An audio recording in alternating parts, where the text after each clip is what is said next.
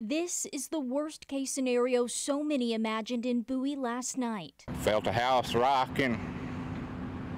Just hope for the best. Though he'll be cleaning down trees for weeks, perhaps that's exactly what Billy McGowan got. Especially when you see the damage up and down his neighborhood streets. It looks like Night of the Twisters. You know, I mean, there's just damage everywhere. Like here on Hutchins Street, where a foundation is wiped clean, and the house that's set here is simply a pile of rubble across the street.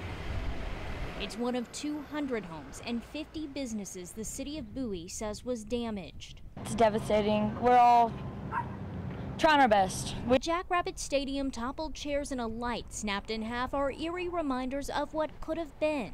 About 7:15, it started rumbling and thundering. And had Superintendent Blake Enlow not made the last minute call to cancel graduation for 125 seniors and their families. First thing that went through my mind was, oh my goodness, if we had waited 15, 30 more minutes to make any sort of, th- or not made the decision we did, we'd have had hundreds of people streaming into the stadium right there within that, that little bit of time. One of many reasons Bowie is counting its blessings. That everything else can be replaced.